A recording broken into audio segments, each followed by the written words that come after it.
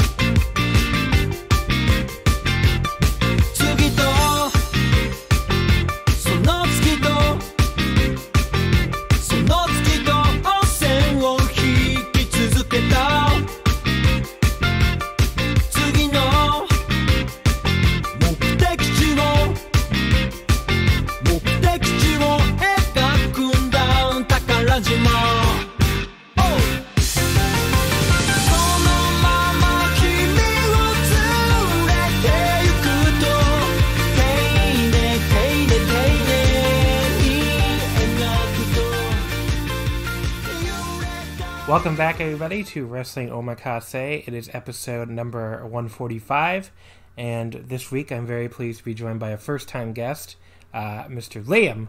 Mr. Liam from the Wednesday War Games podcast. Hi, Liam. Wow. This is a very uh, different experience because uh, War Games is so. We just fly by the side of our.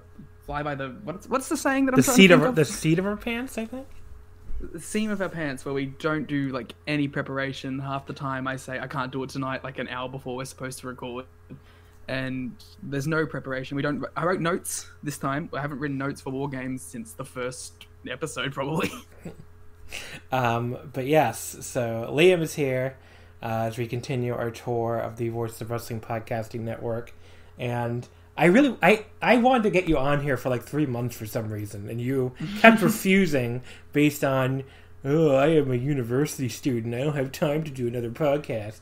But when now i'm barely a university student so that's well, fine well, we're, well, we barely have a world, so Mm, that's that would be that's that. what am i that'd be- supposed to study That's a big difference, I guess. Uh, but yeah, I mean, I listen to Wednesday War Games pretty much every week. I have, ironically, I have not listened to this week's yet, where you probably talk about the fact that you're going to be on this show. So I, I do. don't, so I don't know what you said. So I'm going to hear. well i even I, was gonna say, I even remembered the like week this time so that yeah, helped that's, that's good. But yeah, um, I usually listen, even though I, I don't watch Dynamite or NXT. So you guys keep me up to date. You guys, and then also Joe Lanza screaming uh, ratings numbers. 0.13! 0.29! 0.25! I think you're arguably our most dedicated listener because you're the only one that actually makes it to the end. Mainly because we shout you out half the time, I think. But Yes. Um, I mean, the one thing you'll know you'll know about podcasting is it's impossible to tell who the fuck is listening. I can I mean, I I whenever I the only time I ever know people are listening is when I tweet something like uh, like okay, a few weeks ago during the when I put up that article about like the uh, the Jap the different Japanese wrestling promotions and uh, somebody I don't want I don't want to say because because he might be I don't he could be a listener for all I know. Somebody got very somebody got very mad, and I was uh, very annoyed at the entire situation. And I was like, you know, I put so much of my time and energy into uh, promoting Japanese wrestling for very little to no pay. That I don't know if I should go find something else to do with my time. And I had all these people reaching out, like who I guess thought I was very serious. They're like, John, I love the podcast. You can't stop podcast.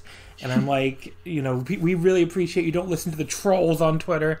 I'm like, okay, well, where are you guys every week if you listen every week? But the the thing is, like, for however number of listeners you have, like you have way more listeners than you think you have, right? I think that's what it comes down to. And like people, I only ever heard the first number, and then I was like, I don't want to hear anymore. Just let it be a void.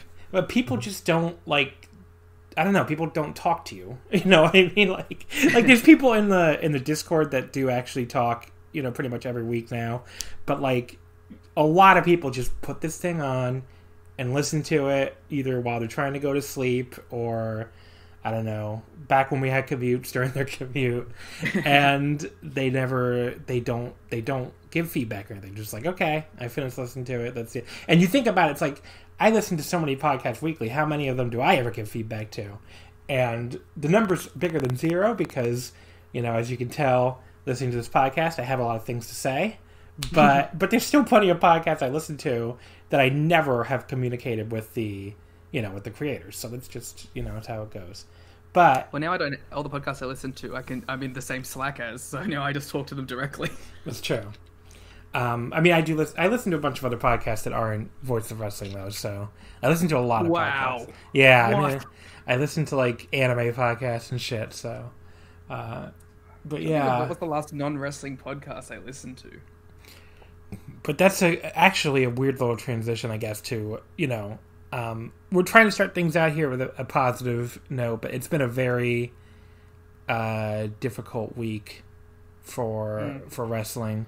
Um, I don't want to talk a lot about it. I kind of want this to be, you know, an hour and a half or whatever, where we can not think about that because, you know, I know we've lost a lot of people this week. Um, you know, I, I, that bringing to talking about the anime podcast actually made me think of that. In addition to, like, all these wrestling people, I, weirdly, like one of the people I listened to, um, on the Anime News Network podcast, like also passed away suddenly this week, and it's just very, it's just a very weird week with a lot of people I, I've either know or heard of just like dying, and it's just, uh, you know, very tragic. And I, I mean, this year has been really bad, you know, and I mean, like, um, and Liam, first of all, I want to thank you very much for agreeing to move this podcast back a day because we were supposed to record uh, Saturday morning my time slash Saturday night your time, and the the news about uh, Hana Kimura broke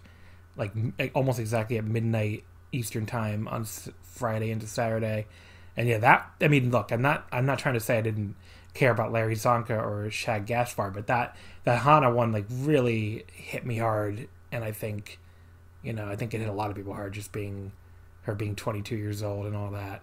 Um, Like I think um, it, for a lot of, like, it, it was a very. I think we we had hope. That was the problem. You know what I mean? Like we had heard that there was help, and then it just out of nowhere. yeah, there was that just- there was that British like wrestling Twitter person that I guess had reached out and said that she thought they were you know she heard that Hana was as okay as she could be in the situation or whatever, and yeah, that turned out to not be true, unfortunately.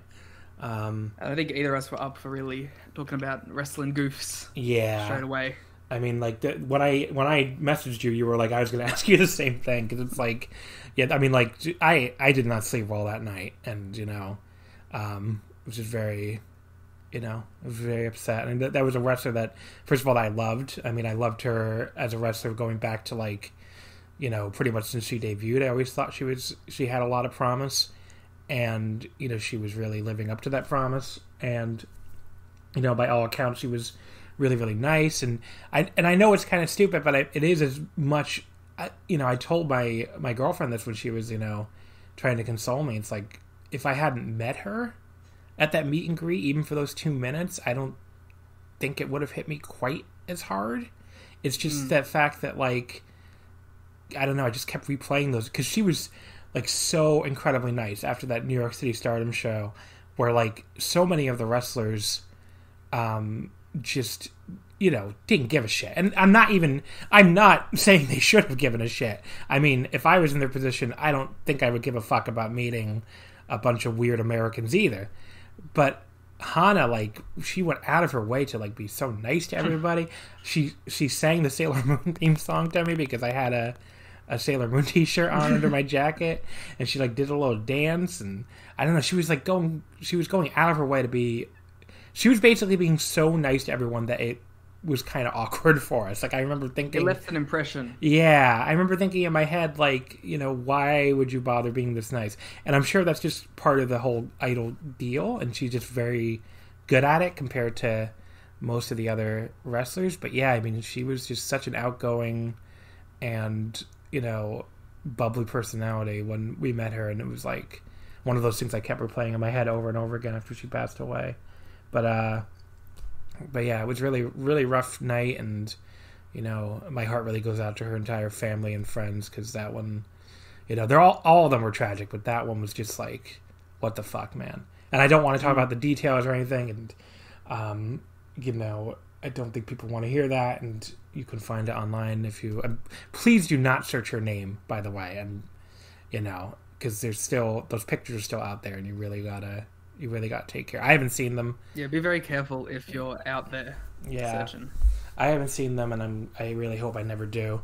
Um, you know, and this is a really difficult time for all of us. I, I truly believe that if, um, you know, this coronavirus thing wasn't a thing, she would probably still be with us. Um, that that could maybe that's wishful thinking on my part, but I I just think she would have had more of a support network, I guess, and she would have been, you know, around people and just what I don't I don't I don't think this tragedy happens.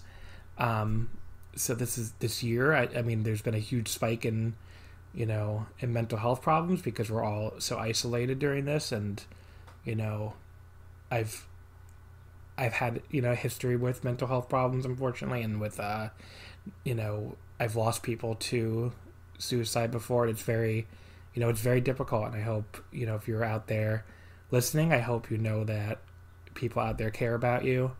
Um, people would miss you if you're gone. There's help available. Um, there's suicide hotlines in every, you know, in every country. And people reminded me when I tweeted about the suicide hotlines to also say, you know, if you need in-person support, you know, don't be afraid to go to a hospital or, you know, I mean, people want to help you. So if you're listening to this and you're having a very difficult time, uh, just remember that. Um, so w- it's going to be a very weird transition from that to wacky pro wrestling, but you know, I did want to say that. Um, It's important to have that kind of. It'd be. I think it'd be worse to just completely ignore the situation. yeah. So we're going to do our best now for the rest of the show to to get your minds off of what has been a very difficult week, and that's you know kind of what we're here for to to be fun and you know Liam and I are going to agree on some matches and probably argue about some matches. So uh, yeah, last night was uh, double or nothing. Also, um, you watched the entire show. I gave up after three matches, so I think. I, from what I've heard, people did like the rest of the show better. Uh, the three matches I watched, I did not think were very good. I mean, look, M- actually, MJF versus Jungle Boy was fine. That was probably the most. That was like the most I've ever enjoyed an MJF match. That like three and a quarter I slapped on it was uh was by far my favorite MJF match I've ever seen. It that was a match where like the two of them, if the two of them were much better wrestlers, they it could have been a four star plus match. Which some people in the Voice of Wrestling Slack insisted it was, and got very angry at the people who it's like you and your bias. And I was like, okay, Yeah. two different wrestlers How had had this I think it's only three stars? if you two different wrestlers had had that match. Look, I mean, the there was like a moment early on where, um, and and this is like I think everything that's terrible about MJF. Like they do this sequence that looks okay, like this reversal sequence, and then Jungle Boy gets MJF in this body scissors, and MJF like clutches his fucking chest and screams like he's just been shot, and I'm like almost crying with laughter. I re- I went back and like replayed that. I'm so glad I had a rewind because he like he acted like he fucking was shot, and it was like um anyway. So yeah, MJF uh, a lot of comedy there with, with MJF getting uh and it was a badly applied body scissors too. Which is also adds to the comedy. Like it looked like his legs, like Jungle Boy's legs, were barely tight around his waist, and MJF was just like ah. Like- but yeah, very. It's just ena- my reaction to watching MJF. I do the same thing. ah. it's Well, very. it was very on entertaining. War Games, but you didn't listen to last week.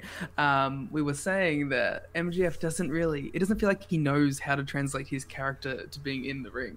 It feels like these are just two different entities completely, and they Yeah. just don't overlap at all. I, I agree because watching that match, he just came off like a generic, pretty much a generic wrestler. Other than the the, the fake knee injury spot, maybe is the only thing that really seems like it matched his character. But other than that, he just looks like any other like tiny American wrestler.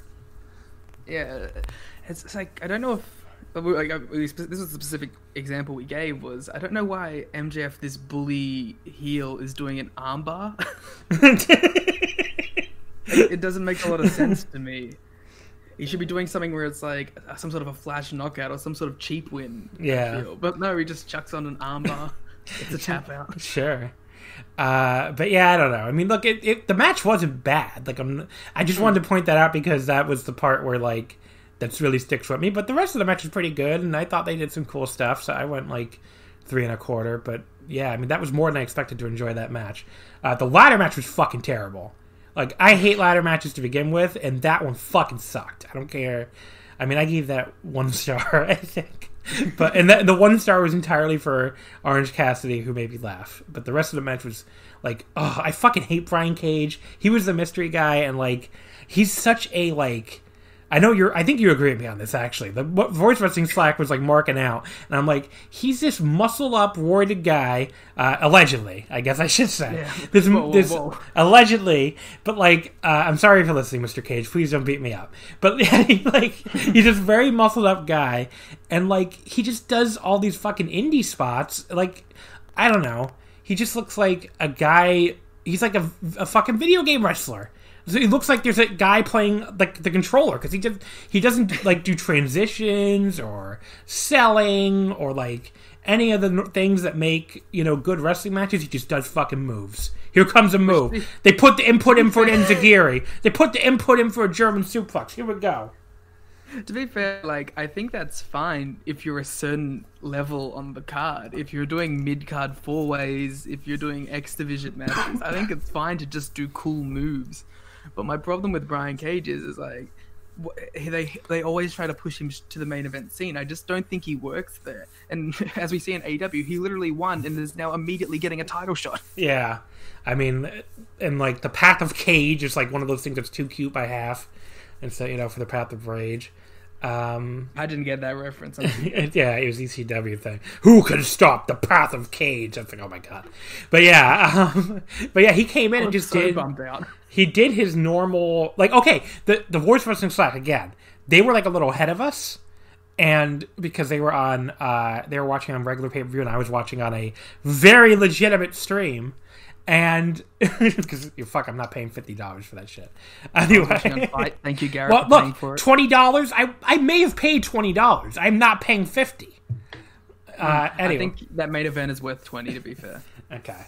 Um, but anyway, so back to Brian Cage. So like they say they they they're ahead of us and they know they're ahead of us. So they're like, uh, I think Joe Lanza or Sean Sedor is like, uh, you know, the the mystery man's good. And I'm like, holy shit. Um, and we're you know we're way behind. Then the fucking Brian Cage thing hits. I'm just like, ugh. Like my level of disappointment was like. I I probably groaned in real life when Brian Cage came out. It's just like, ugh. I can guarantee I groaned in real life and in the Slack where I typed blood. Uh, but yeah, I don't know. Like, why do you need Brian Cage? You already have a Wardlow.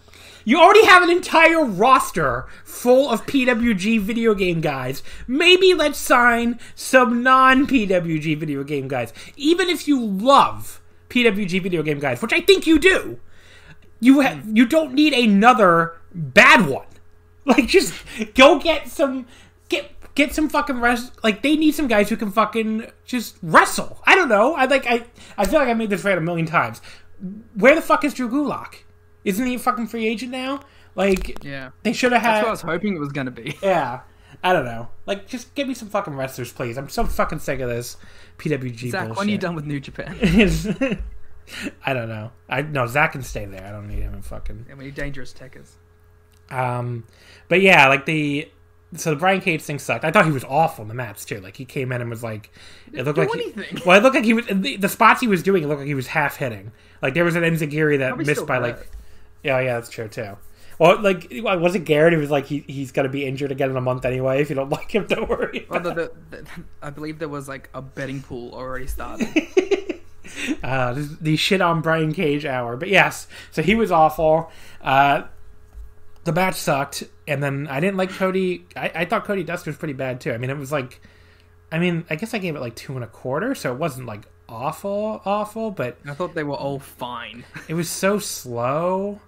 And like it felt like nothing was happening. It just I don't know. It just wasn't a good match. And that's the point where I gave up because it was three matches, three matches that I were you know bad to fine, to I guess the MJF match was the best one. Plus the stream was starting to crap out on me more and more, so I was like, eh. I don't There's really. no point trying to keep up with it if you're already not having fun, and then it's just like the stream is like, yeah, do Yeah. you really want to put the effort in? And like the rest of the card, I was like, oh. And I think up next was oh, did I think up next was what like Penelope Ford and uh Kris Statlander, and I was like, Which was actually pretty decent. yeah, okay. So I should have. St- I guess I should have kept one. It sounds like every three matches are the good matches. what were the final? It was like I I know people are raving about Moxie and Brodie Lee. I probably will watch that because I like both guys. Shida and Nyla is just as good as Brody and Mox, and the main event, depending on what you're expecting, is like, I for me, I gave it like four and a half stars. Um, there was fives being thrown at it though as well. Yeah, I saw. I'm not. I'm not. I do not like. I am not a big fan Pretty of much- the the stunt matches or whatever. So it's not. I'm, Like yeah, I'm not. I'm not on in that team. So we'll see. I mean, I'm. I'm sure it's better than be anything. fair, it's So- like five percent cinematic. Okay. I mean, I just don't. I mean, the Matt Hardy stuff sounds very goofy, but I don't know. It's not- Matt Hardy. Yeah. So that's never been my thing personally, but maybe I'll watch it. I don't know. I mean, I'm I'm home, locked in my house forever, so I have to. I have plenty of time. Uh, but yeah, there's our there's the official Wrestling Omakase Double or Nothing review. There you go. Um, Things happened. things happened, uh, and now we'll get into our five matches. By the way, before I before I start introduce the first match, um, so Japan might be coming back soon. Uh, they they officially lifted the state of emergency, uh, or or either they're going to or they have. I don't remember what it, which it was, but yeah, it looks like they're about to lift the state of emergency finally in Tokyo. They're down to very few infections, um, and it sounds like the way this is going to go is so from when they lift the state of emergency, mass gatherings up to 50 people will be allowed. Um, so that obviously really wouldn't mean much for the- for any for any shows or crowds in Tokyo. In two weeks, they're going to allow uh, uh, gatherings up to 100 people. So you can, I guess, have a small 100 person crowd in Shinkiba or something. And then two weeks after that, it'll be a thousand people. So at that point, obviously, you know, you could talk about reopening Korakuen Hall and getting a thousand people in there. So, um, you know, which would be more than half full already. A So- very exclusive show. A Wrestle One full draw. but yeah, I think so. Basically, I think we're probably like a month away from some type of shows with crowds if if everything goes well. So, which is kind of what I thought originally when the state of I mean the state of emergency is being lifted a week early, which is good. Clearly, I mean it's supposed to be May thirty first, but the you know they're they're down to so few new infections in Japan that they're they're lifting it early in Tokyo. So you know, I but originally I thought maybe like mid to late June for shows, and that would be about on schedule. So, you know, if everything goes well and there isn't a huge increase in infections as they open stuff up, I think we will see Japanese wrestling shows again. Um, in which case, we'll t- once we have stuff on the schedule with crowds, we'll talk about what that means for Omakase. I think at that point, uh, if you like these five matches episodes are not going to go away. They might go behind a Patreon paywall, so Pay that money. you might have to pay that money. So we'll see. I mean, they're, they're, they're if you enjoy these, they're not going anywhere. You might have to pay five bucks a week because I cannot do two episodes a week and not get some money.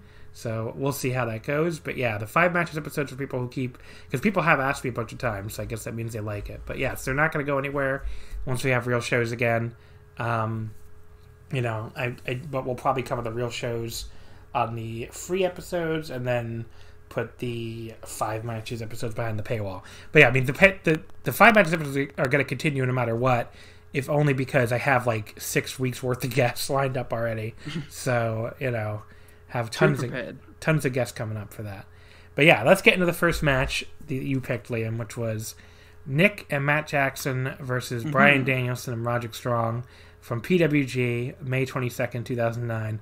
Uh, go ahead. Hybrid and, Dolphins. the hybrid Dolphins. Go ahead. Uh, Why'd you pick this match? Is there any specific reason you wanted me to watch it, or did you just love this match? What's What's up with this pick? Well, it wasn't because I necessarily loved this match. It was I wanted to pick a Young Bucks match because to me, the Young Bucks are my favorite tag team ever, and I wanted to represent that in some way. But I also thought of you, and so I thought I'll pick a match where they get beat up the entire time, like viciously beat up. Um, and I also, it's a this night in PWG was actually quite a pivotal night because this is basically when the Bucks started to find themselves as the characters that they are now. Before this, they were basically the lucky, like, oh come on, baby, baby faces. And on this night, after they beat uh, uh, two men of low moral fiber, Kenny Omega and Chuck Taylor, the PWG fans have started to turn against the Bucks, which I think you would have noticed during the match.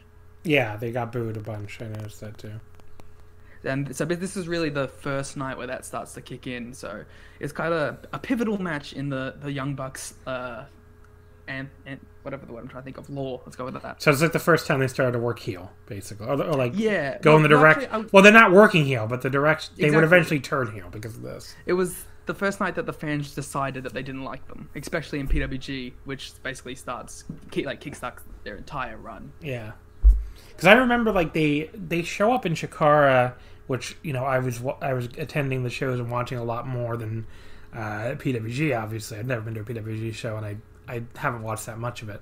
But you know, they show up in Chikara one day as like heel. They start acting heelish randomly. I'm just like, what the fuck's going on? like, why are they suddenly heels? Um, I'm thinking like especially the, the year of King of Trios where they teamed up with uh, Malachi Jackson, and they were suddenly randomly they were randomly acting heelish toward him, and you know it didn't really make any sense from a Chikara standpoint because they'd always been babyface when they showed up, and someone had to explain to me. It's like, oh no, they've been they've been heels in PWG for like a year now because I think this was like 2010, or it could have even been 2011. I don't know. Time has no meaning at some point. But yeah, Time is relative. Time is relative. But yeah, they, they basically had someone had to explain to me they've been heels for a while in PWG now, so this is probably them bringing it over to Chikara. But yeah, so they just started randomly acting like jerks one day. but yeah, I guess this was the start of that. Um, so basically, what went down here was uh, uh, Danielson and Strong. They they wanted to build this match around the Bucks being baby faces. So the more the crowd booed, the more they decided to beat the shit out of them in order for the crowd to come up and start supporting the Bucks. Unfortunately for Matt and Nick's bodies, that didn't work out. Yeah. Um, so, so I didn't love this match. I'll be honest. It was good. There was some stuff I really liked, which you know, which was pretty much the yeah, the Bucks getting killed.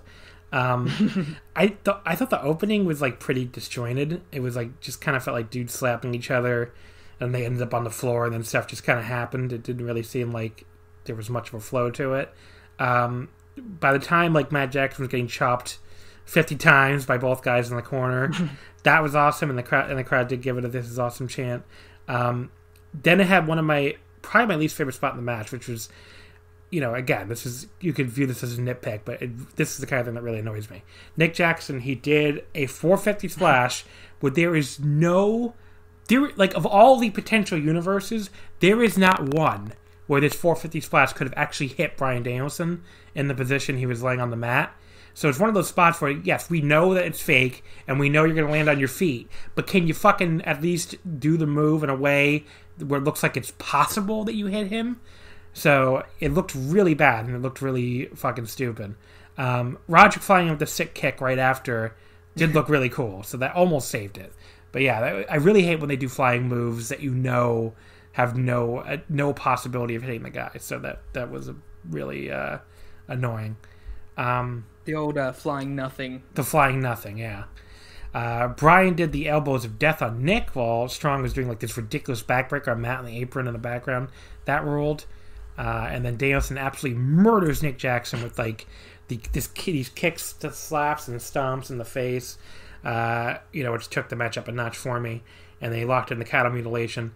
The problem I had again, and this took it back down a notch for me, was the ending, which I fucking hated, where Nick looked Nick looked like he was completely murdered. I mean, Bryan Danielson could not have killed this man more, but then the Bucks just like kind of suddenly revive and hit one little sequence and win, which it didn't really work for me at all. It just felt like, you know, Nick was killed this Almost entire. as if like they went too far one way that Ye- it felt improbable for them to to uh, come back. Yeah, I mean, even if they, I don't know, even if Nick acted more hurt at the end. You know, if he was selling more, or if you know they had to do a little bit more to win. It just felt like okay, you were slaughtered for this entire match, and then Matt comes in and you're just suddenly fine, and you hit your move and you win. It was very like it's time for us to win now. Like it, it just didn't work for me. So I, you know, I enjoyed the match. I didn't hate it or anything. I went, I would go like three and a half stars, I guess. But they were like some major flaws that took it down for me. I think I, I like this match uh, mainly because this is kind of the era when I started watching PWG, so there's some sort of nostalgia factor to it. What, you started watching PWG when you're like eight years old? Yeah. yeah, actually. I was th- th- 13 or 12? 12 Okay. or 13? Yeah. As soon as I started having any sort of money, I was, oh, until I started learning what the internet was. Um, I started watching PWG. It was like probably my first indie randomly. Yeah, I PWG. I don't know. It's like it never. I, I it was coming up at the same time that I was, I guess, still really into Ring of Honor, so I didn't have time to watch it. And then, you know, by this point, like 2009 is like probably the year I watched one of the years I watched the least amount of wrestling. Period. So because like pretty much everything I liked at the time was going down, and I didn't find, you know, I didn't like seek out anything new because Ring of Honor. This is the year I stopped going to Ring of Honor because Ring of Honor started sucking. Um, you know, Noah was really going down. I guess I watched Dragon Gate still, but even Dragon Gate didn't have a good year. Um, you know, and New Japan was not yet kind of like really ramping up. So yeah, like 09, even like 2010, I didn't watch a lot. It was like 2011 that I really started getting back into it again. But anyway, Definitely the peaks for me were like 2011 to 2014. That was when I was like making sure I saw every show, every match. And then after that, kind of when the UK guys came in, is when I was like, yeah, I think I'm I'm waning on the PWG bandwagon a little. I lie by the way. P- 20, 2010, I was going to every Chikara show. So yeah, 2009 would be the year where I wasn't watching anything or going to anything. And then the following year in in 2010, which is like the BDK year, I was going to like almost every Chikara show. It dragged you back in. Yeah. So anyway, uh, I don't know what you were saying. I'm sorry, I interrupted you. Uh, I, was just, I was just pointing out when I gave up on PWG. What? Oh, what was 2014? You said. Uh, yeah, 2015 is when like uh, Pete Dunne, Mark Andrews, Marty Scurll started being the focus. Not a big fan of Brit Res, huh? I mean, I like Brit Res in Brit Res. Okay. I mean, that was one of those things that I've never really watched, so I never really watched a lot of Brit Res. So, uh, but yeah, I mean, PWG is definitely a blind spot I was for me. really so- into Progress for a while. Yeah, I think a lot of people were. I never, I just never really started watching it. So, like, I've seen like, I don't know, like seven progress matches all time or something. There you so, go. I don't know, it's like some some really low number.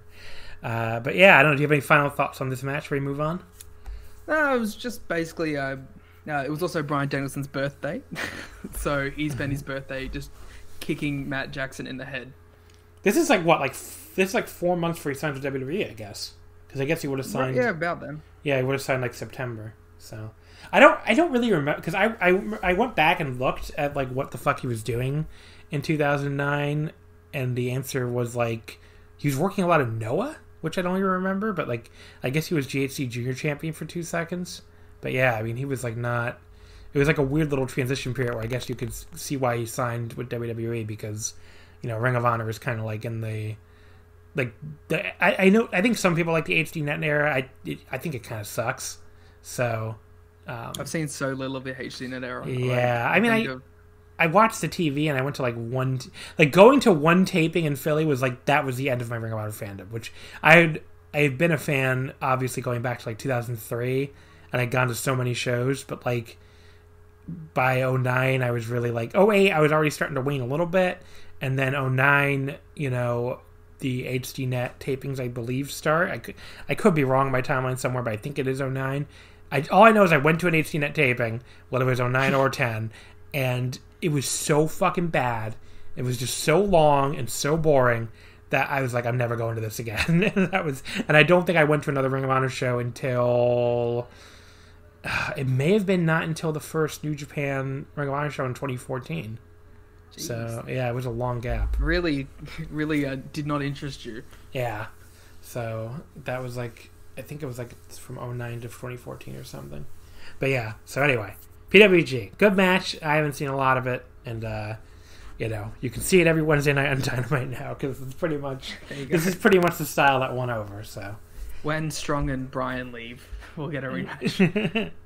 Uh, the se- the first or second match we're going to talk about. The first match I picked was Kota Ibushi versus Shinsuke Nakamura from New Japan Pro Wrestling, uh, January fourth, twenty fifteen.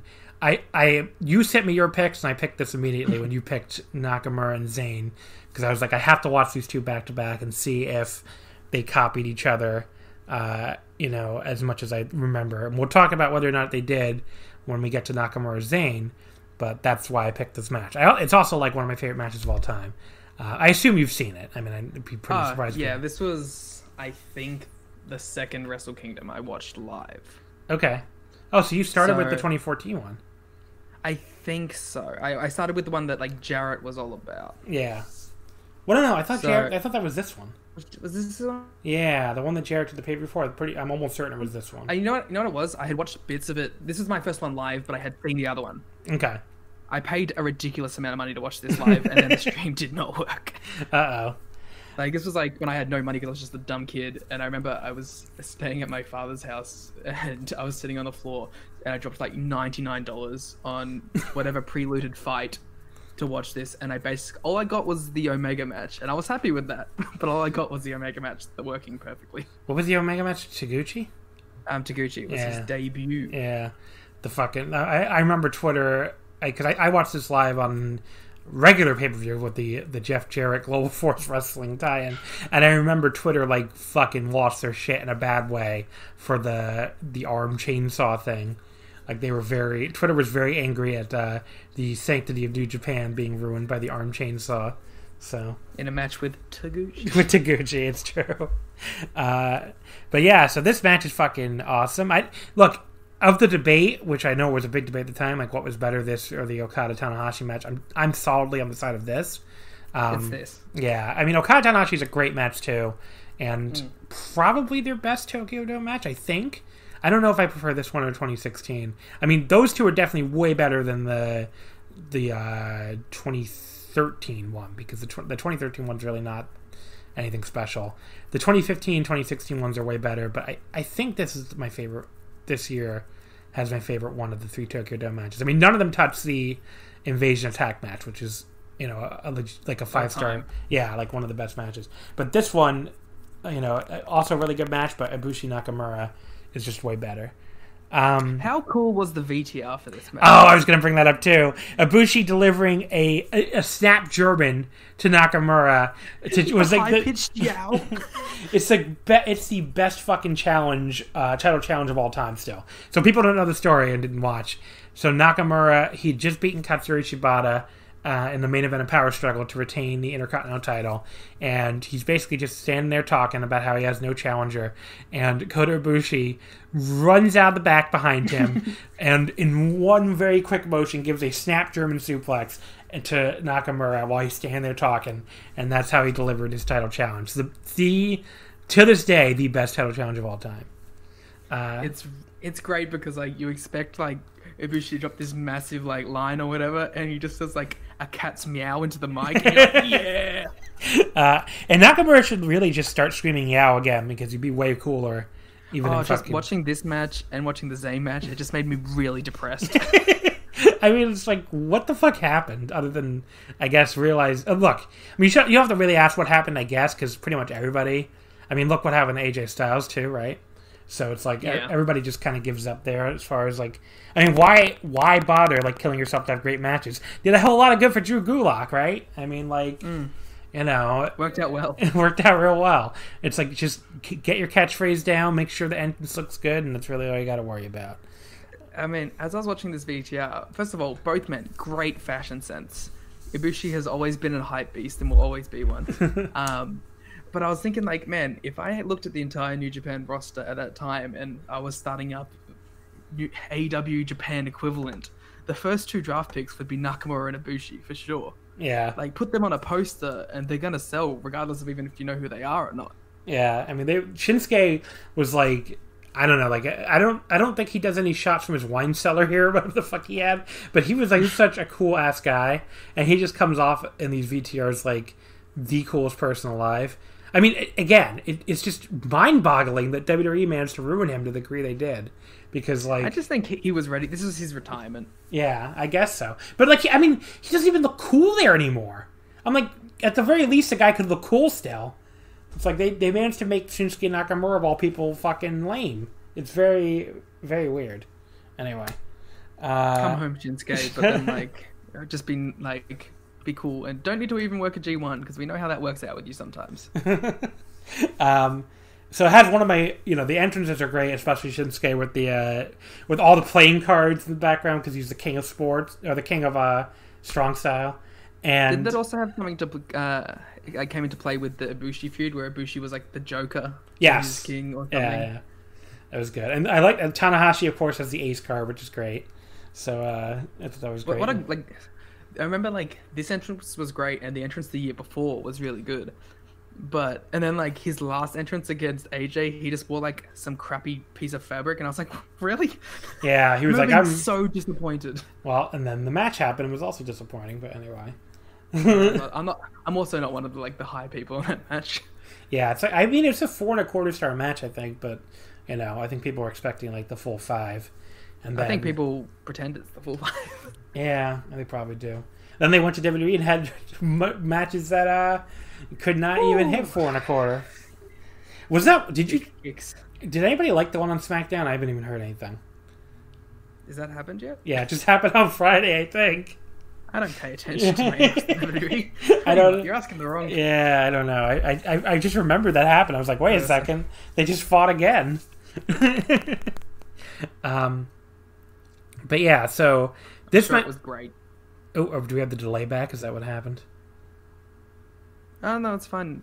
Okay, okay. So, uh, Shinsuke, he has one of my favorite openings of this match. Shinsuke offers him a handshake, and then when Ibushi takes it like an idiot, he immediately kicks his ass.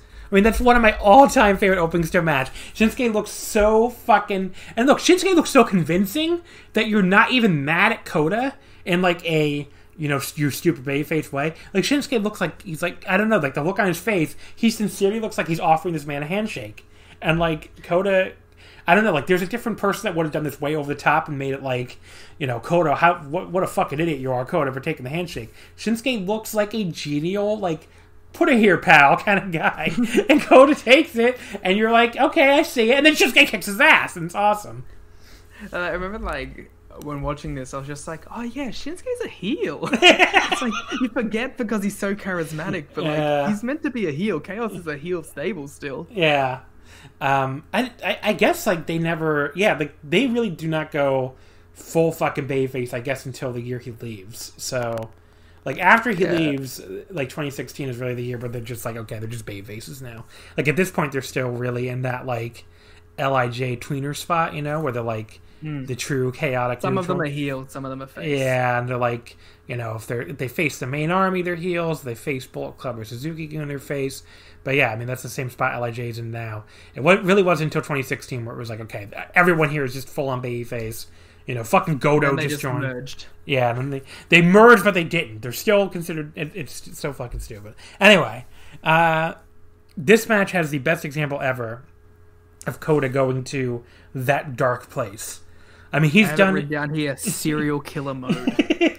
he he's done it in a lot of other matches, including the Okada match this year. But this is the best one he ever did.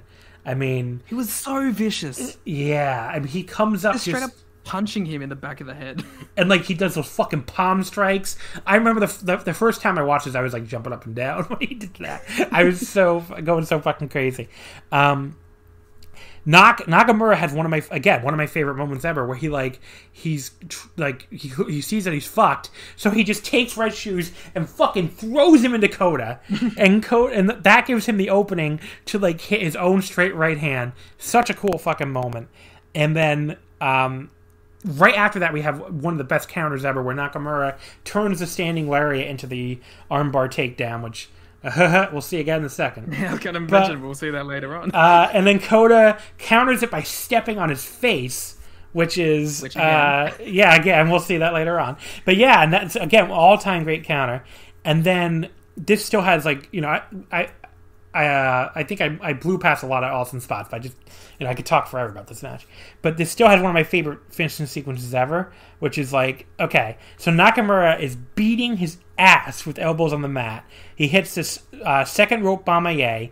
Ibushi smiles and rolls through it, which is one of the best no cells of all time. They both go for Bomayes and they clash fucking swords. Like they're two fucking samurai or something. Like they, they hit knees and they both like fucking react. And then finally Nakamura hits another Bomaye for the pin. Uh, you know, I this is like a match I've seen like 500 fucking times, and it's still always amazing. Uh, I mean, obviously it's the full five stars, so. I mean, the It's one of the easiest five stars. yeah, I mean, like, what the fuck else would this be? Like, what? I would love to know, like, if there's somebody out there who hates this match, like, what is the fucking flaw?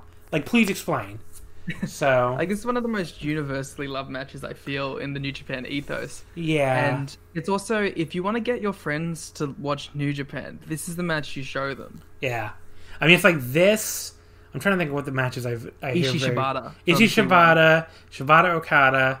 I mean, this last Okada Naito match, which that surprised me. I thought people would. I, to be fair, I, I I do love that match. I went the full five on it. I think that one is a match that you appreciate more if you know the history. Yes, that's true. But I just meant like as far as universal, universally beloved matches. I really haven't seen even people who normally hate 30 minute Okada matches. I haven't seen really many complaints. You could also um, go Omega Okada three, which is the one I like the least, but it's the more palatable one. I fucking hate that match. Just I've ranted about it a million times. I was in, I was in the building. From an outside perspective, yes, yes. From an outside perspective, it's true. A match makes. like, I think my sense. grandmother has seen that match. That's. Did she like it? Um, she likes the Young Bucks, Okay. but she doesn't. She doesn't really like the epics that much. Well, that's- that's fair, Granny. I just want. I got a couple things that I, I liked from this match that I jotted down. Uh, I really liked how Thorky Kota comes across when doing Shinsuke's shtick. Like, it takes a real, it takes a really cool guy to pull that off, and like he just kind of doesn't do it, but you love him anyway for trying. Yeah, he looks like he's, uh, you know, he looks like he's a cosplayer. You know, I mean, that's pretty much it.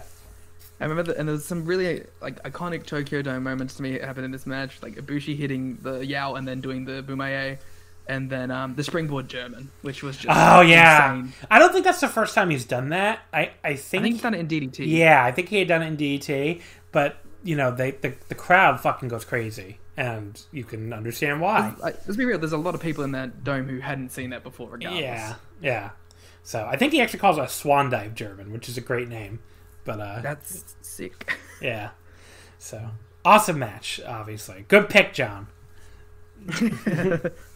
uh, but your your second pick was Shinsuke Nakamura versus Sami Zayn from NXT on April first, twenty sixteen. A match I just ranted about a couple weeks ago. So I remember you asked me like, was that the reason you picked it? I was like, no. Um, I, I picked it because it was being discussed in the Slack, yeah, and I realized that although I love this match and I, I gave it five at the time, I, I I hadn't seen it since the year that it happened, where I watched it twice in one week. So I think I told this. I did definitely told the story before, but the first time I watched it was I was in Japan. Uh, like this was my very first trip to Japan when I went for Sakura Genesis that year. So I guess Sakura Genesis. Let me actually get the date because now I'm curious.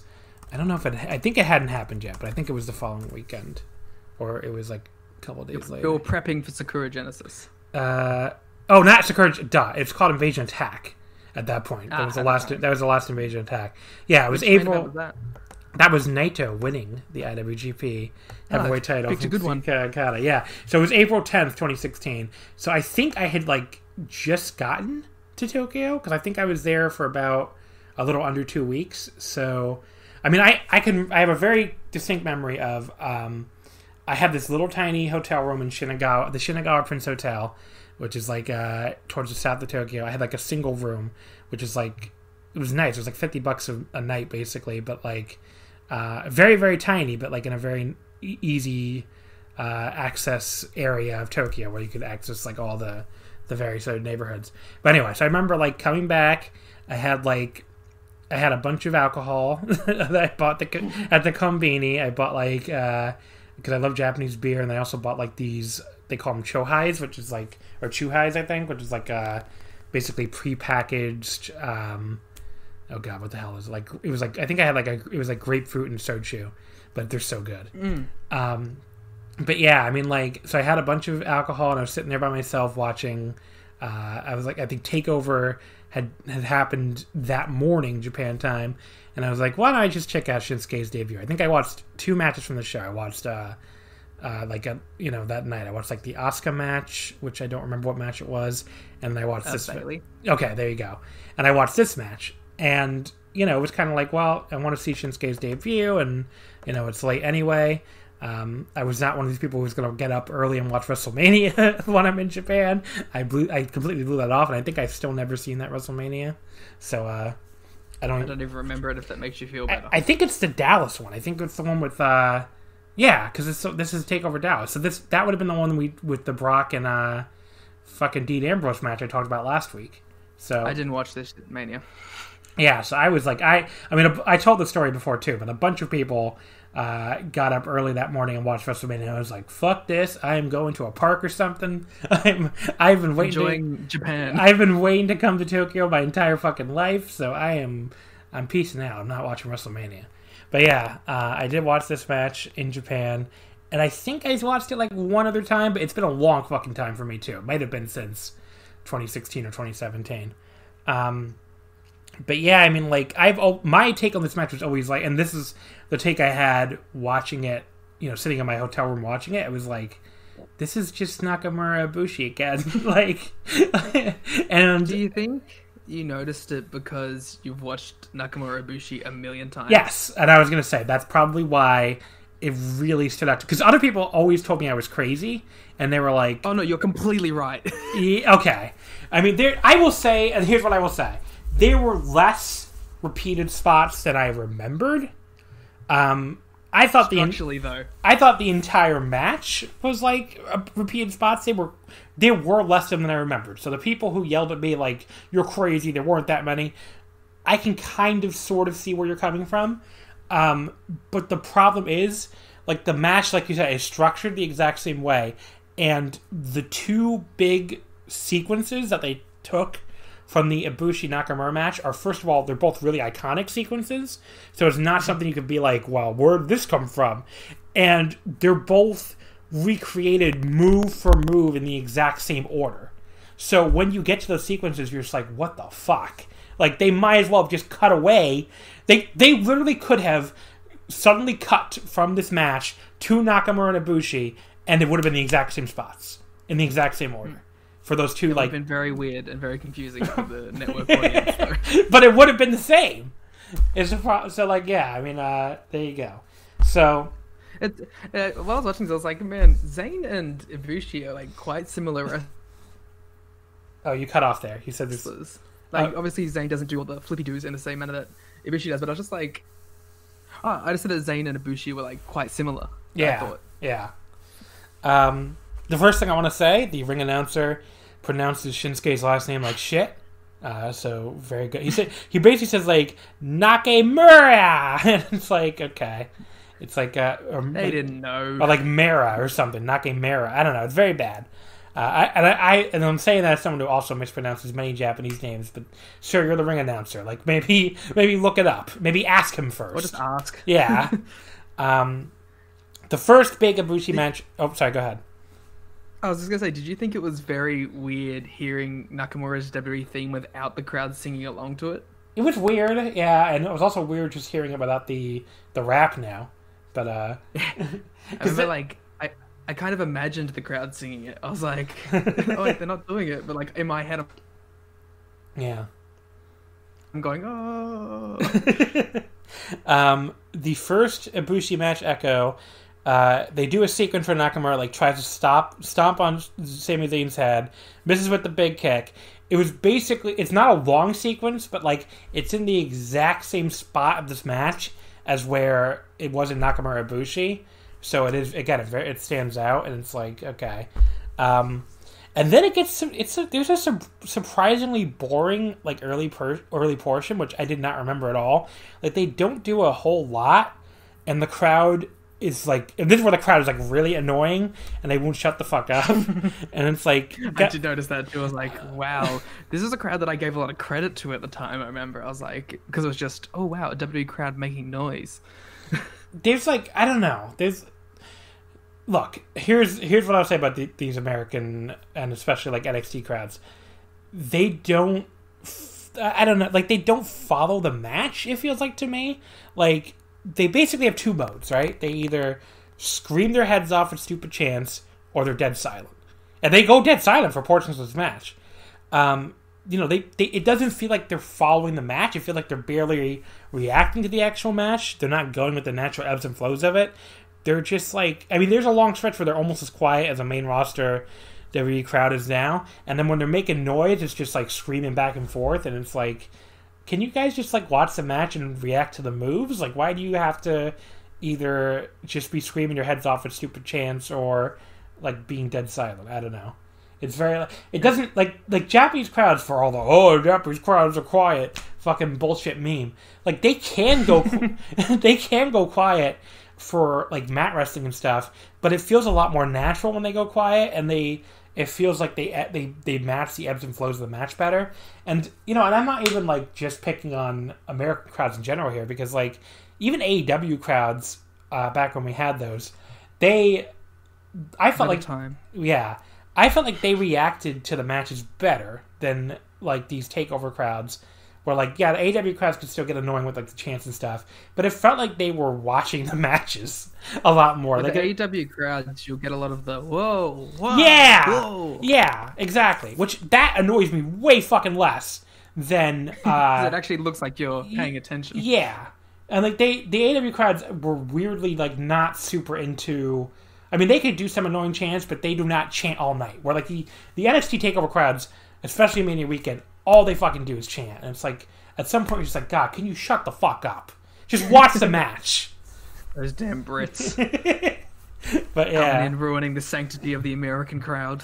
Um, but yeah, there's like uh, I don't know. There's, there's like a there's a weird mat wrestling portion early where they look like they honestly lose each other at a few points, which I didn't remember. Like Zayn just kind of looks over his shoulder at Nakamura when he does a go behind, like he isn't sure what they're supposed to be actually doing. I'm just like, wow, for a match that people love that much, I w- did not expect that. Um, go ahead. Rose tinted glasses. Yeah, I uh, perhaps. Yeah. Uh, at one point, there is like an incredibly stupid spot where Zayn essentially like backs himself up repeatedly until Nakamura runs himself right out of the ring. I kind of liked this. Oh, that looked like a fucking Looney Tunes cartoon. It looked so stupid. I don't, I don't know. I think it worked. I think it works well because of Zayn comes across as like this wily kind of guy. It does seem like something you'd see El Generico do, perhaps more than you'd see Sami Zayn do. But yeah, Yeah. I didn't have a problem with it. Okay, uh, that spot annoyed me. Uh, back to the annoying crowd. For some reason, they break into a fucking yes chant during the the yay boo for form exchange. It's like Daniel Bryan's not here, guys. Why don't you like shut Everyone the- gets a yes. why don't you shut the fuck up? And then they stop doing it and they'd start doing it again. It's like, okay. um, then we get to like the the sequence where they're like completely ripping off Nakamura Bushi. So Nakamura gets the boot scrapes on Zayn against the ropes. Just like Kota Bushi, Zayn starts firing up. He he hits like a huge lariat. The the one little difference is he hits like three lariats, you know, two lariats before he goes to the, the third one, and the lariats did look good. But then he goes for like the big wind up one, and Nakamura takes him down to the armbar, and it's like, huh. And then they do again. The sequence keeps going the exact same direction. Nakamura boot scrapes him repeatedly. Uh, you know, after Zayn gets out of that, Zayn fires up.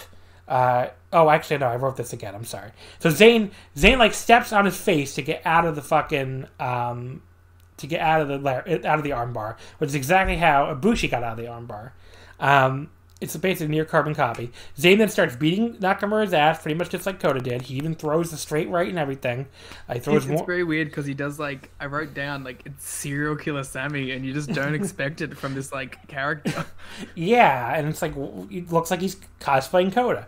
And then you know Zayn You know, he, he does throws more punches. He boot scrapes him against the ropes. It's exactly the same. Nakamura comes up and hits his own right hand. The only difference is he doesn't throw the fucking ref into him. So they're really, really mixing it up there. Uh, and again, this is all the exact same order as it happened in the Nakamura Ibushi match. And they finally move away from redoing it because Zayn hits a uh, a face buster and a Koji clutch, which is different. So yeah, that's like a two or three minute stretch or something where it's just the fucking Kota match. So I mean, I I get why people might say, "Oh, it's not the entire match, John," but like that's a long fucking sequence, and it's a, it's probably the most famous sequence of the Nakamura match. Wouldn't you It's a say? significant portion. Yeah. I remember like thinking that like I if it was intentional, which it seems like it was intentional, I understand why you would do it though. It's like what was the match that I had that got the best reaction from a Western from the Western fan base? My Kota match. Well, maybe I'll take some things from that and I'll do it in my debut in front of a major Western audience. Right. I mean, I'm not. I don't really like. Yeah, I guess I, I, get it. I just think like when people were would argue on Twitter like that's not what happened, that would just r- drive you fucking crazy. If you don't care, if you admit that this is the exact same fucking sequence, then great. But people are trying to argue with me that it's not. It's like just watch them back to back. I promise you'll notice. Um, There's the, the one like truly like original Austin's Father match comes right after there, where Sami Zayn he goes for that jumping DDT like through the ring the ring post that he does, and Nakamura like counters the huge kick. That was really awesome. Um, but yeah, I no- swear though, throughout this entire match, Corey Graves was trying his darndest to make Nakamura not cool. what did he do? I Like- mean- he called him swag swag suke, which is like that's an internet meme. Do not bring it. And he, he was talking about how um, Shinsuke is good at all the head games. yeah. Uh, well, Corey Graves sucks ass. So, uh, and then Nakamura. We used to think he was good. yeah, well, we were down. Remember when people thought he was good? And then Nakamura hits the bomb in the back of the head, and then another one for the pin, which again kind of similar. He does like the second rope bomb and then you know Zayn kind of rolls through it. Although he doesn't really no sell it as much, but it still kind of does faintly echo the Ibushi match at the finish, which isn't you know isn't great when you've already ripped that match off repeatedly. Uh, but yeah, I mean overall, I guess there wasn't as much repeated spots or as, as many repeated spots as I remembered, but the the stuff that is repeated is so fucking like it's exactly the same. So I get why I had that impression. Um, you know, The there's spots that stuck out were the ones that were used in both matches. yeah. Um, so the early portion of the match is strangely bad. The crowd is so fucking annoying. Um, I really don't think this is anywhere near as good as Nakamura Ibushi. I do think it's still, you know, everything after the midway point of the match is really awesome. So there is a lot of really good stuff in this match, uh, you know. And if you can look past the uh, the rip off spots, I I guess I would give it four stars flat. But um, to me, it's nowhere near close to the five star to a five star match. It's not a five anymore to me, looking back on it. What would you give it now? At the time, I can understand why I would. But What'd you give it now? Now, yeah. Uh, I don't. I think it'd be incredibly disingenuous of me to drop a five star match by like a whole star because clearly it did have some sort of impact at the time. hmm Uh, four and a half conservatively. I see. I think I actually went up. I think I might have given this like three and three quarters, three and a half at the time. So I've become less grumpy about it, I guess. I did find one thing funny that um, Nakamura gets busted open in this match and not the Ibushi match. that is kind of funny, yeah. So there you go. Okay, Like so the one where Ibushi's just straight up punching him in the face, he doesn't get hurt. no, Zayn does it, and he's yeah, but yeah, that's that match. Let's move over now to my second pick, which was Tetsuya Naito versus Kenny Omega from New Japan on August thirteenth, twenty sixteen. Uh, I think I had the date wrong when I originally put it out. It's August 13th, not August 3rd. So I hope. Sorry if you had trouble finding it because I'm an idiot. Uh, this is basically the B block final. This it came down to this match. The winner would move on to fight Hirooki, Goko, Hirooki Goto in the final the next night. Uh, Naito, I believe, had 12 points here, and Omega had 10. So Kenny had to beat him to have the tiebreaker and win. Uh, Naito could have gone to the draw and won the block, which they almost did. Um, but yeah, I picked this because, first of all, I I was being nice to you, and I was like, let me pick. I was being nice too. Oh, What are you okay. I decided to pick. I was like, Liam is coming on, so I will pick my favorite Kenny Omega match ever. The match where I have nary a bad word to say about Kenny Omega, and because obviously he's your favorite fucking wrestler, I think. Mm-hmm. Um, Yes. And against my favorite wrestler, and I, I I will go to my grave saying that this is Kenny's best opponent. I mean, I get why people like Kenny Okada better, but I love all three Kenny Naito Well, matches. it sure is Naito's best opponent. No, I don't even think he is actually, but I think Naito's best opponent is either. it's close. It's either. I think it's one of Tanahashi, Kenny, or Ibushi. But, but yeah, this match is like, uh, you know, I, I don't have any real complaints about this match. It's one of my favorite matches ever. Once again, so, um, you know, they had three matches that I all loved, but this one is just above the other two. Even though Kenny wins, even so. Uh, but yeah, this is uh first of all, the the first thing I have the first note I have on my sheet here is the the spitting spots are probably going to be among the last things to return to wrestling, I think. But but Kenny and Naito do Yes, an, Sami Callihan wrestles. but Kenny and Naito do an awesome job at them, um, and they did here again. I like, remember, like, as I was watching this live, like, that was the moment where I was like, this is exactly what I wanted. yeah, like Kenny like spits at Naito, and Naito's like, Like, uh, I really loved the heel heel stable leaders dynamic that they teased the week before. Yes, I mean the heel. It, it definitely has a big like. I remember when they announced this. Even like you had that buzz like, oh, it's the Bullet Club leader against the LIJ leader, and they were both still like very solid heels at this point. Like, um, you know, Naito, I guess was in the process of turning, you know, a little bit because you know when he won the title from Okada at Invasion Attack, you know, it was with like Sanada running in and Evil and Bushi running in, and you know, he still had like the interference and stuff. And Kenny at the same time was doing the interference too with the Bucks against Tanahashi, so they were both still like very heelish. And in the G one is when they both kind of got away from the run-ins, and you know, Naito you know, Naito was still pretty heelish in the Tanahashi feud. I guess it really wasn't, even though he didn't have like run-ins and stuff. I guess it wasn't until the 2017 G1 where he started, you know, going more babyface. And then Kenny was uh, again still very heelish, even though they did. I don't think the Bucks stopped. The Bucks didn't run in for him anymore after the, the Intercontinental stuff, right? I don't remember them ever running in again. No, it was it was really just that much. Yeah. There was maybe some stuff with Elgin, but outside of that. Yeah, so like uh, this is like when they started keeping the interference only to Suzuki-gun when they came back, I guess. But uh, and like maybe other, and then Jay White eventually. But yeah, um, but Kenny, I guess, like was not, and he was still very heelish, and he he cuts a very heel promo at the end of this match too. But yeah, the, neither one of them would start turning babyface, I guess, until like really like late 2017. The more I think about it, and then Kenny obviously with the the Golden Lovers reunion and everything. Uh, but yeah, this was like a big, a big heel versus heel vibe, basically. Like you said, like just two heel stable leaders like fucking going head to head, and the crowd was super fucking into this too. Like the crowd was like really, really up for liked- this. That you could hear kind of like the Naito fans on one side and the Omega fans on the other, and at points there would be like both of their names were getting chanted at the same time, and they were like me- they were like meshing together in the air. Yeah, and like that, I feel like the Naito fans got louder as the match went on, in which Kenny got mad about at the end. But um, but yeah, like the, the the they were definitely a big contingent of Omega fans. I mean, the following year when they met in the G one final, you know, even though the Naito fans clearly hadn't, uh, you know, I was in the building, and even though the the Naito fans clearly had an advantage, there was definitely a significant portion of Kenny fans, and we were sitting next to like a bunch of Japanese Bullet Club fans, and they seemed almost upset with us for being white people who loved Naito. I guess they expected. How dare you? they, they were like, "You are traitors." But yeah, they were very like they seemed very annoyed that we were LIJ fans. It was funny. Uh, but yeah, the back to the okay. So I did write down the one thing that Kenny did. I that- really um Oh, go ahead.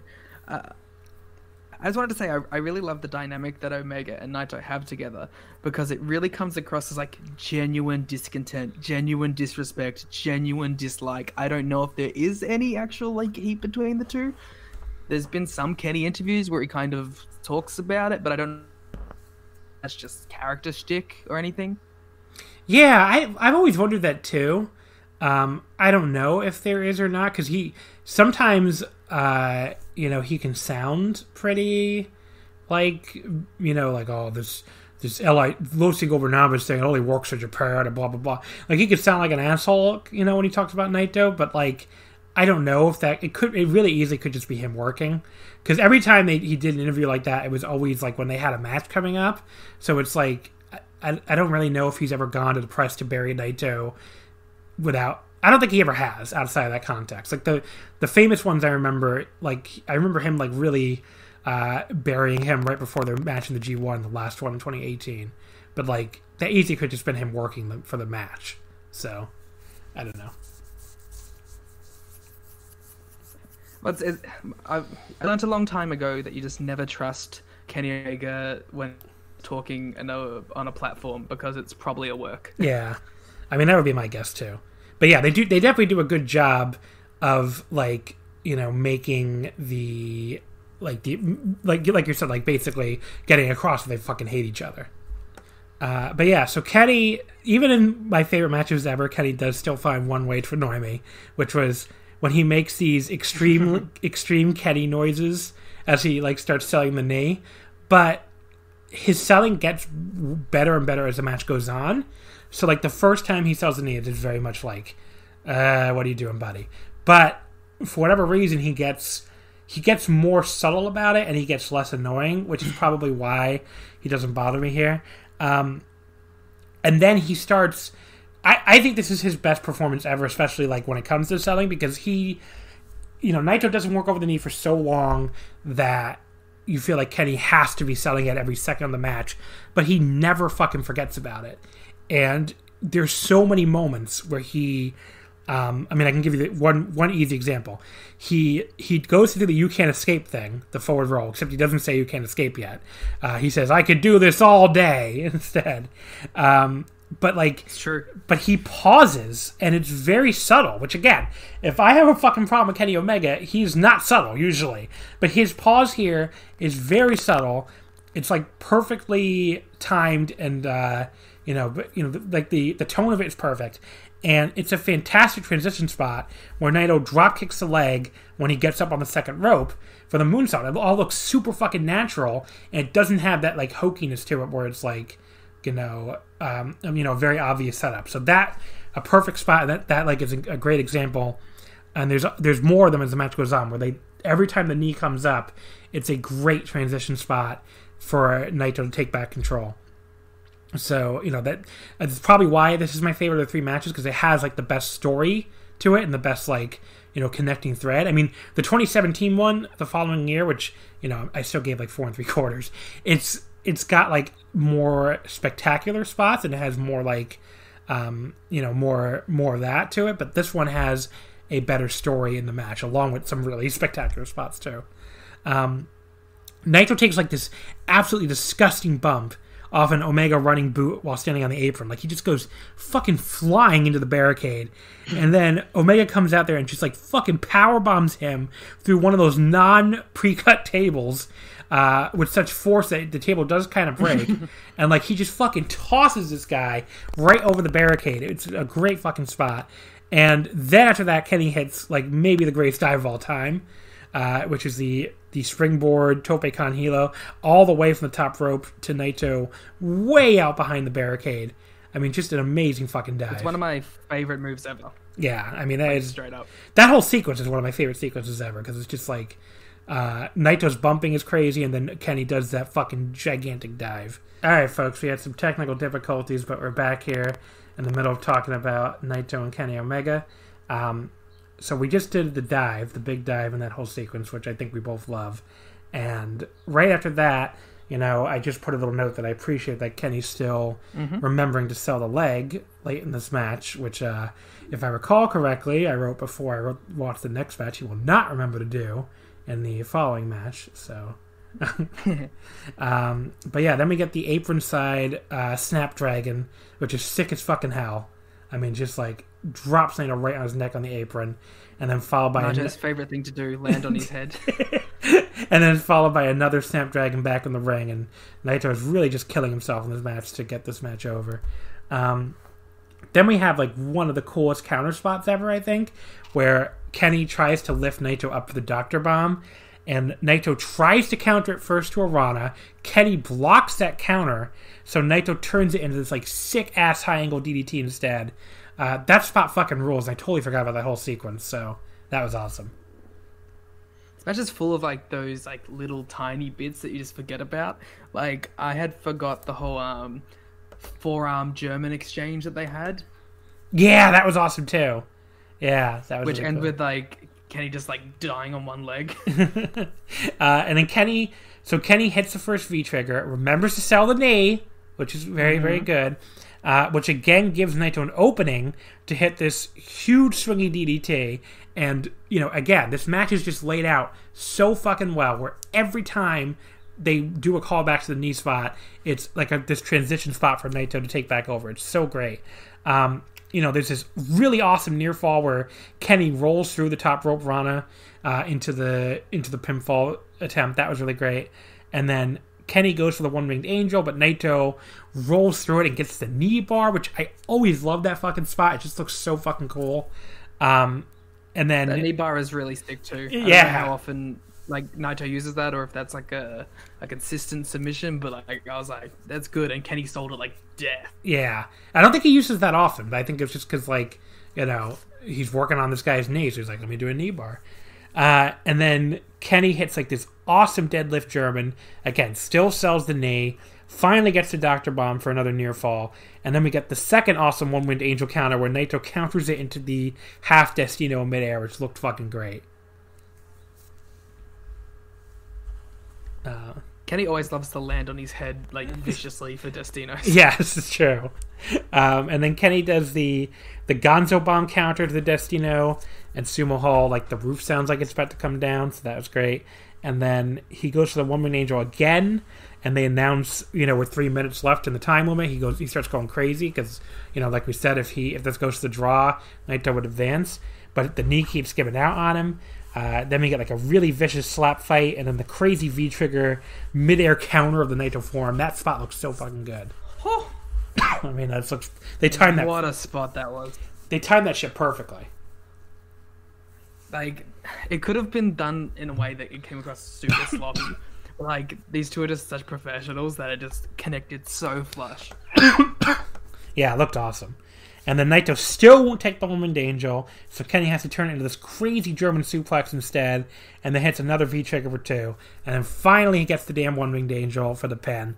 Uh, again, very easy five stars. I think pretty much a perfectly laid out match. They do so much crazy shit here. Um, I, if I remember correctly, this either did either this. I think this finished second for match of the year on the Voice Wrestling poll that year. It was either Robbery. yeah, it, it either finished second or one. I think I'm gonna look this up because I'm curious. I'm pretty sure it was number two, but I Yeah, might be wrong. yeah, I think it finished behind Okada Tanahashi, which should not have. This, this was this was the match of the year, I think. Um, Yes. but yeah, my Google's being very. If we can agree on it. I mean, it was. It's just an amazing fucking match. Um, I'm gonna I'm gonna find it. Let's see, 2016 Do you want me match. to- I can go while you're looking. Yeah, I, I got it on the next. I, I got it loading, so my internet's just being very slow right now. Hence all the technical difficulties, I guess. Uh, but yeah, I mean, like this is a just an uh, outstanding, amazing match. Um, you know, My favorite match until like the next match we're about to talk about. Oh no, it did win. It won number one. Oh, Yeah, I got and that was all thanks to us. 589 points. Let me see. Oh, I got in here. The I this is a I got I got like a little note here. There you go. Uh, but yeah, the the second yeah Nakamura Zayn finished fourth by the way, so because that was also this year. It was Ok- um, Okada Tanahashi finished second, which doesn't surprise me at all. Uh, the Revival versus DIY finished third. I don't even remember that match. It's like I guess they've been they've been buried. I guess so that would be the the two out of three falls match that everyone loved. I get. Pro- oh yeah. Okay. Yeah. So you go.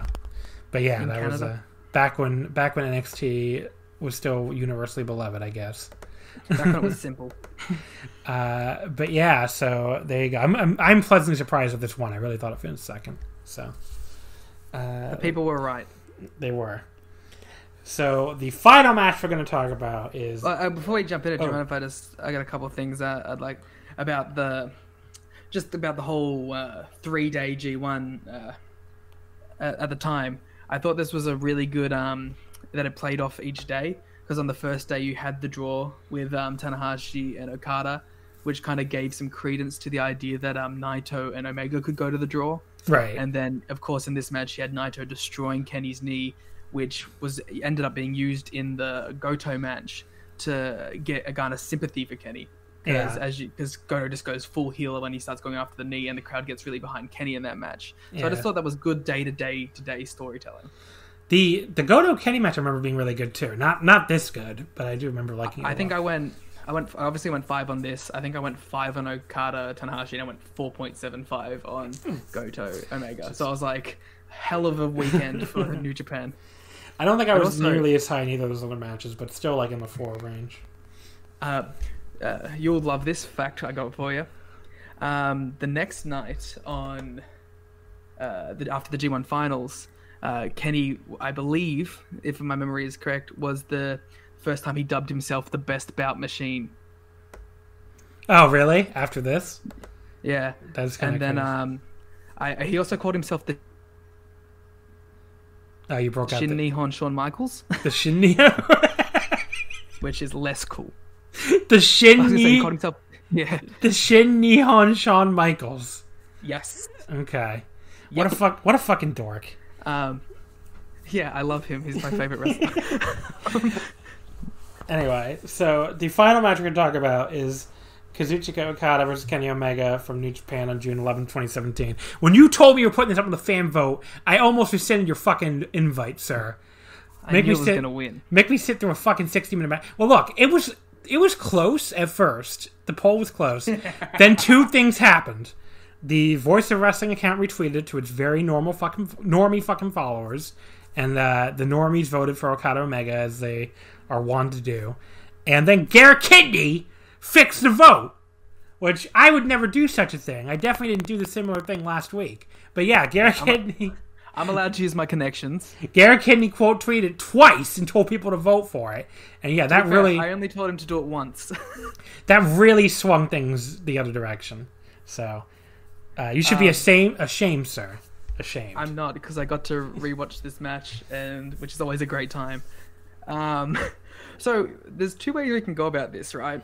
Because I didn't for this is the one match I didn't take any notes for. uh-huh. Um, but as soon as it was done, I wrote a little thing in my notepad. So I could either just read the, the whole thing that I wrote down about this being my favorite match, or you can bury it first and then I can do it. No, you can do it. You go first, and then I'll bury it. Okay.